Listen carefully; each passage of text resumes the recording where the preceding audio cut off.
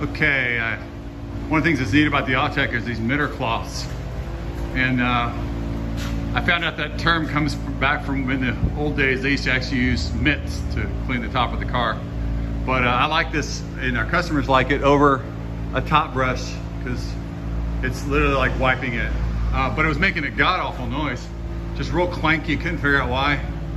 Uh, so I don't know if you've ever looked at the way the mitters work, but they they kind of sit up here and they're they coil up based on a that that that little compression of the air right there is what makes it lay down and it rolls on these rollers.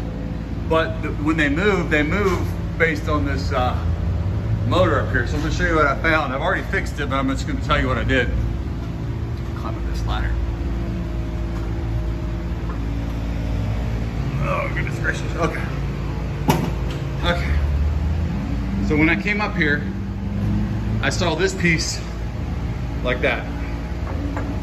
And you can see what it's supposed to be. I probably have too much grease in there for sure, but it's supposed to be a bearing in there. And um, it just banged itself loose. And uh, just so you know, uh, a couple things I did to make life a little easier. I put tape where the threads go, just in case, so I got it exactly back the way I wanted it. The other thing that you don't realize is on the inside is uh, some Allen wrench screws. You can actually just undo this. What I did is I just used a, a vice grips here and I used a, a regular uh, adjustable wrench there and I just, you know, opened it and, and unscrewed it.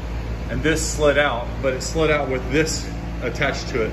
And you can see this is, is that. So this is actually part of the bearing.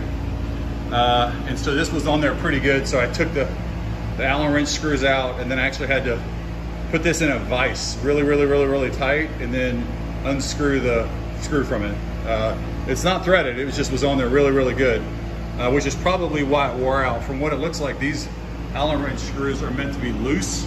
I may be telling you the wrong thing, but it, it sure looks like they're meant to be loose because when you when this moves, you can kind of see this, see how it kind of rocks? So it's meant to slide around, and I think what happened is this got fused to the screw and uh, start sticking with it and just basically rubbed out the, the bearings. But so this is what I got. I ordered from Autec.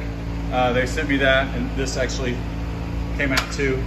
And I put the new one on there. It was actually easier for me to unscrew it out of this end and uh, then take this in the in the workshop and, and vise this thread and, and, and pull it off because it was on there really, really, really good. Um, while you're up here, uh, make sure you, you, get a grease gun. I got a really cool one from DeWalt that's uh, battery operated and you grease grease this. I just greased it, that's why it's so messy. Grease that, each one, each one of these. Uh, and then I would also make sure you grease these or it'll get really, really noisy as this thing spins around. There's also another place to grease on this side, which is the emitter. That's one you, it's easy to overlook when you're doing your regular grease schedule. And uh, so there's one on each side. And there's actually one more hidden, if I remember correctly, when they install. There's one under here somewhere. I gotta find it, but I know there's one more kind of under this panel. I think it's on this side, under the panel. But I gotta find that because at some point that's gonna bite me in the butt. But anyway, here I am on top of the Autec. Uh, I'll just let it run too. I'll do another video and just let it run so you can kind of hear it.